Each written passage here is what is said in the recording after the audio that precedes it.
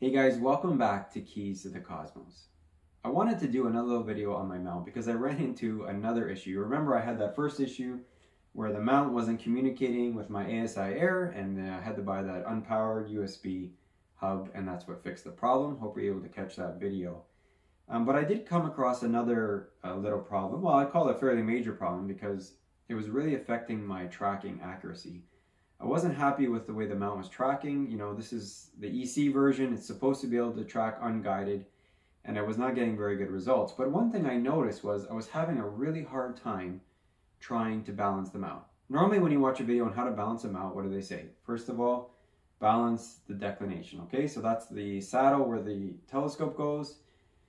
You turn it so that the, the scope is sort of parallel with the ground and see if it pulls to one side, right? So if it's pulling to the back, then you want to move it up towards the front and that should fix it and reverse if it's the other way around.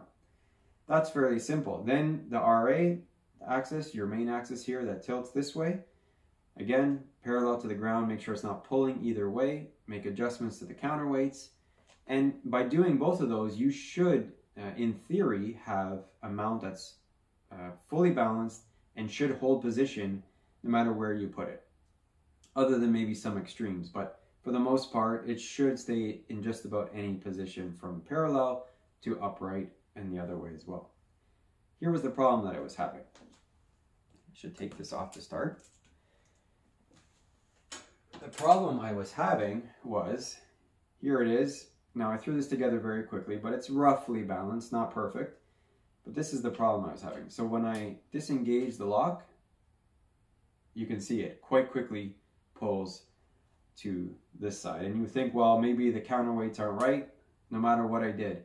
And if I went too far with them, it would pull this way. But you can see, even if I start past upright, maybe not that far past, but even a little bit past the upright, it still will pull to the side. So clearly there's a weight issue and I was not able to fix it uh, by adjusting the counterweights. It just, no matter what I did, it would either not correct it or would make it worse on the other side. So I had to figure out what to do. I started doing some research and that's when I learned about third axis balancing. Now, I am not in any position to explain that using mathematics. All I know is how it works and how you guys can put together something similar to help solve a problem. So this is a problem from what I've been reading with a lot of these Ioptron mounts. And the reason is, with many mounts, when you disengage the uh, axis, whether it's Dec or the RA, it might be like a twist knob where it slowly disengages and even though it's disengaged and it can move, there's still some friction there. With these, it's either on or off. Okay, so there's a, there's a switch here. And basically, once you switch it unlocked, it's completely disengaged. Like there is nothing, you can't feel any, any tension whatsoever. It's completely free. And that's a good thing. That's why these mounts, when they're balanced and running properly, track so well, so accurately, even unguided. But because of that, it also makes them extremely sensitive to imbalance. And as I mentioned, no matter what I did, I was not able to get imbalance um, the traditional way.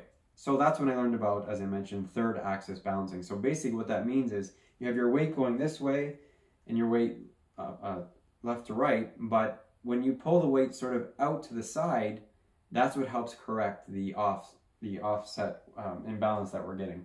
Another one of the reasons too that I've read is because one of the motors uh, in the Dec is actually off to the side. So I'm not 100% that that's true, but they say that's why I generally will pull to the one side. So the, the saddle itself is a little bit uh, imbalanced. So that's why you're going to get that difficulty in balancing. But I'm sure this is the case with some other mounts out there as well. So it might help you with your brand, even if it's not an Ioptron. So how do I fix it? Well, as you saw, in the beginning of this video, it's with pulling the weight on the counterweight bar off to the side. Now I'm going to explain what I put together here, but let me just show you, first of all, how it worked. So remember when I disengaged the clutch, it would completely pull to the left immediately. In fact, if I didn't grab it, it would crash to the other side. Now watch what happens when I take just about, I would say, two pounds, give or take, two and a half pounds, on a little clamp. We put it on the counterweight bar, and we go not quite parallel to the ground, just off, uh, I would say upwards a little bit. But you see it's off to the side here. And watch what happens now when I disengage the clutch. It doesn't move. And in fact, I can move it there. I can move it there, it stays. And the same is true on the other side. So um, this, you know, this little contraption that I put together here, and I'm not going to take credit for it. There's other guys that done videos on it as well that helped me to do this. This is what fixed the problem. It's pulling that a little bit of weight off to the side, third on a sort of third axis, and now the, the mount has um, perfect balance. It can be in any position, and it will track well. Because when you really think about it, the beginning of the night, you know, assuming that you're shooting something at 30, 35 degrees, the mount's not going to be all the way down and pointing up, right? That's more like, like at zenith. It's going to be just off to the side, maybe even straight out, with the declination slightly turned. And in that position, I was not getting good tracking, traction because you can imagine that scope is wanting to go down and the motors on the mount are trying to keep it steady and it just, I wasn't getting anything longer than 60 seconds and it just, the stars were starting to elongate, which of course, after spending this amount of money and buying a nice mount like this, I was not happy with. So that basically solved everything. So let me just explain basically I keep forgetting it's not engaged because it's staying where it is. So how did I put this together? Well, it's four main components, I guess you could say. So I'll show it in pictures here, but I have uh, this little clamp. It's like a camera clamp that I bought off Amazon. And here is the listing here so that you can look for it yourself if you want to. The key to it, it has two threaded holes where this rod comes out of. There's a 3 8 inch, which is the one I'm using, and there's also a quarter inch. So I bought this clamp. This holds on very tightly. It works really well. It does not move at all once you clamp it tight. Then I bought this, I mentioned this 3 8 inch rod just at my local Home Depot. I think it's about 8 inches long, give or take. Okay, so on the one end it threads in, on the other end there's actually uh, you know a head on it. So you can't load anything from this side, you got to bring everything from here. And you can bring it almost all the way. There's no threading at the very end, but you know what, it's far enough out that it seems to work. And the only really other major thing I bought are these washers, these large washers. Um, these ones are code 2647, so that may help you if you are going to Home Depot.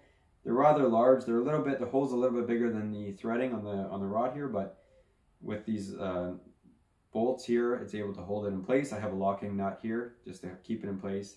And so it's very steady. They're not going anywhere. And all the weight is at the one end, and that's what helps it to work basically, I didn't even have, I thought for sure, I think I have 10 washers on here, by the way.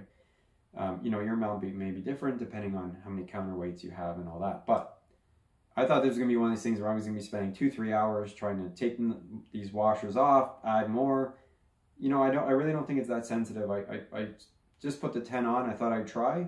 It worked instantly. You can play around with the angle at which you put the clamp, whether it's, you know, parallel with the ground or a little more up. I found just a little bit up worked.